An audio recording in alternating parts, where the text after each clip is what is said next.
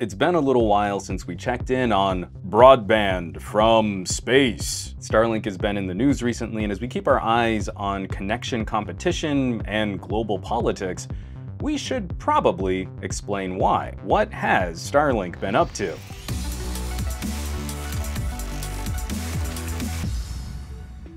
And whether your internet comes from space or a cable in the ground, we hope you'll keep up with all the happenings here on reviews.org. Hit those subscribe options underneath this video, follow us on the social media, check out our home site. We've got some great articles and videos coming your way. We've got a trio of news stories on Starlink for you this week, which showcase the ups and downs of satellite-based broadband. Earlier this month, Starlink sent 49 satellites into orbit, but due to more extreme conditions than predicted from a geomagnetic storm, about 40 of those satellites re-entered the atmosphere. It's a nice way of saying they fell out of the sky. Starlink satellites fly at an extremely low orbit and will be sensitive to those kinds of conditions. This event also highlights the current state of space weather prediction. Getting a burst of solar activity can make conditions here near Earth difficult to anticipate. Following that recent re-entry event, Starlink conducted another mission last week which not only put an additional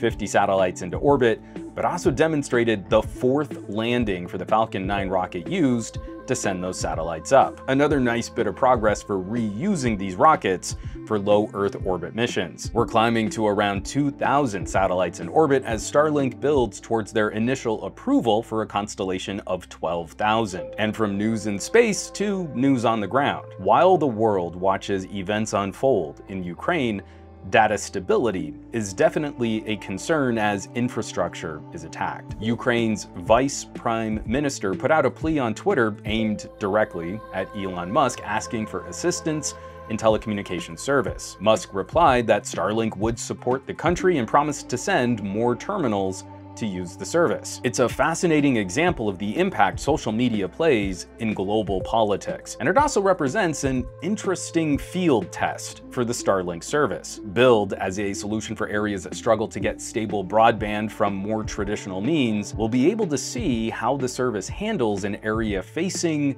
significant disruption to traditional landline services. We'll also get to test the overall flexibility of this constellation flipping the switch to light up the area. February has been a busy month for Starlink and SpaceX. We'll be keeping an eye on how this satellite grid grows. And of course, we'd like to hear from you. Are any of you using Starlink service? Do you have any experiences to share? Drop us some of them tasty comments down below with your thoughts. And make sure to check out the reviews.org home site with more news on broadband, plans, services, and ways for you to save some cash on your bills. As always, thanks so much for watching, for sharing these videos, subscribing to the channel for reviews.org. I'm Juan Carlos Bagnell, aka Some Gadget Guy, and I will catch you all on the next video.